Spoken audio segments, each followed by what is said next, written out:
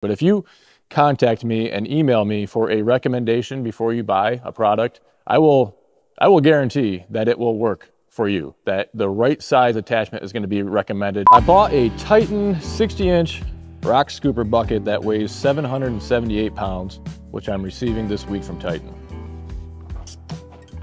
Hey, keep it down, June. Is my John Deere 2025R tractor gonna be okay handling the rock bucket? And can I use the, the rock bucket with the backhoe on the back? Okay, so 778 pounds. So, first of all, I wanna state that, you know, I've been thinking for a long time on, on some way to, to offer this and do this. I want to lower the risk for customers. I want to lower the risk for myself.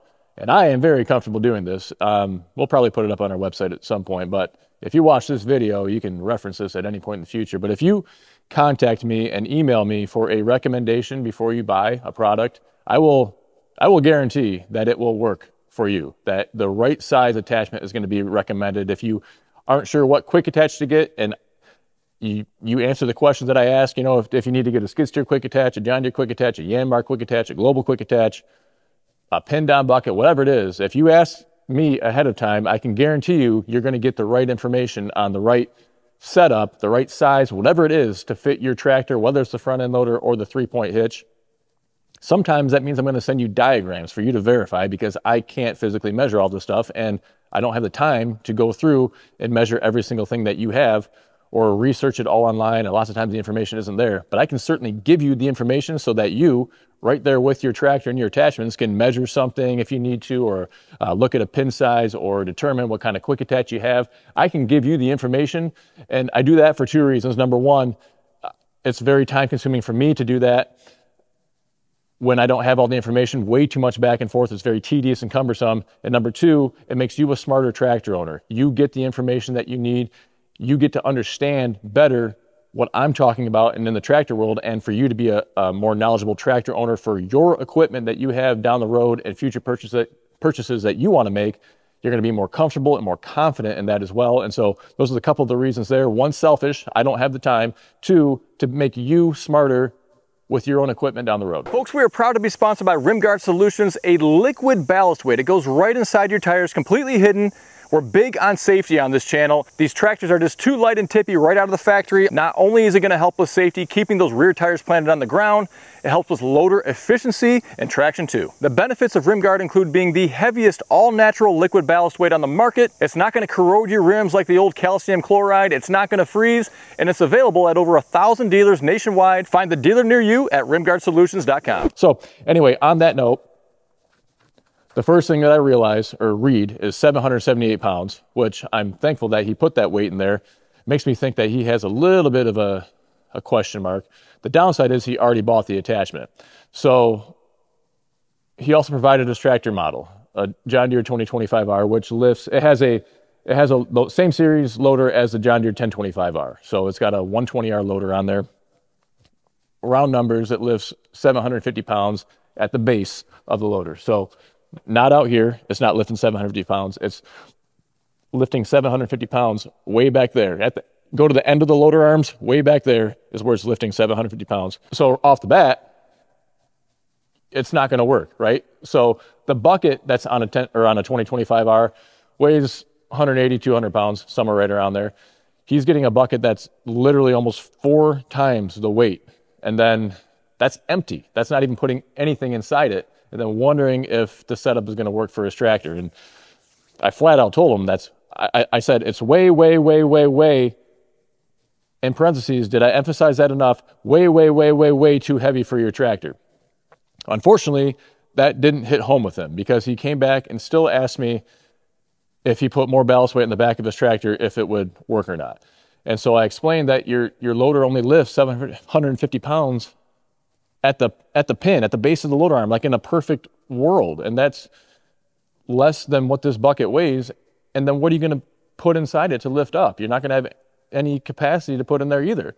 And he came back and said well we, they've got a 600 and some pound version that's a little bit smaller. And i don't know if you know sometimes i am too direct with folks and i i don't take the time to, to mention all the details but tell me if I'm wrong, if that if that seems to make sense or not. You know, 600 pounds on a loader that lifts 750 pounds is still way too heavy. I mean, if your standard bucket only weighs 200 pounds, and then you can fill that full of another two, three, four, 500 pounds of dirt, you're getting to your max weight. So, I mean, if you want to have any usable capacity inside the tool, and that could be with a bucket, it could be on a set of pallet forks, it could be a grapple, anything that's going to pick up and carry a load, you need to have enough capacity beyond the weight of the tool to accommodate that load. So, this is why I, I started this off by saying if you contact me ahead of time, I'm going to set you up the right way because now he's got to try to to get that thing. It's in transit to him. He's got to try to turn that thing around and get it sent back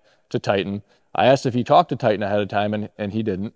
Um, but I, I, I've, it's just a bad situation for a customer to be in, and that's you, honestly you see that even on local dealership type stuff as well. I still get emails like this. Man, my I just had one last week actually. I wish I could find it. A guy bought a grapple. The grapple was the same kind of situation. It was like a six or seven hundred pound grapple on, uh, I think it was like a 2032R or 2038R, if I'm right. And that is way too heavy for that size of a tractor. You're just using it's overkill. The, the tool is overbuilt. There's nothing you can do with a tractor that small to damage a tool that's that overbuilt, and it's just too heavy to be able to make it usable. And there's going to be too much steel in there, too much support. It's for a much bigger tractor like a 4 Series tractor or uh, a medium sized skid steer, even.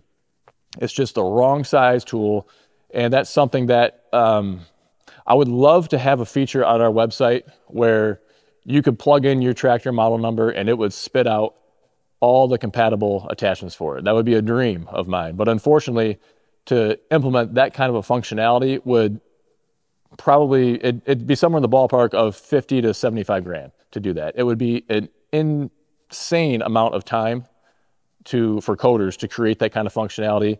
Just weeks and weeks of my time to go through and identify the right size and model of all of the variations that are on our website and what tractor makes and models it'll work for. And so it's a lot more efficient for me just to have you email me ahead of time. And of course, I would love it if you're going to buy something from us, but if you're just looking in general and you're shopping other websites and you can't get the information, I can still give you a quick answer so that, you know, if you're looking for a snow pusher or a grapple or uh, a rototiller or whatever it is for your front end loader three point hitch, I would much rather have you set up for success and getting the right tool the first time than spending your hard earned money on the wrong tool, being stuck in a bad situation where you have to send it back or try to sell it off for a loss and then get the right thing. And, you know, and, and honestly, sometimes we have folks that email us, I give them the information, and then they still order the wrong thing. So you can only do what you can do. You can control what you can control. But if you take my recommendation, you're not going to go wrong. Now, he is thinking along the right lines with ballast weight, right? If I have a really heavy attachment on the front end loader, is my big backhoe on the back going to be enough to offset that? And yeah, it would be. I mean, just to lift it up off the ground a little bit if you can do that. But it's it's not going to make you lift more in that sense, right? It's not going to because you have a if you had 2,000 pounds of ballast weight in the back end, hypothetically, you probably even couldn't.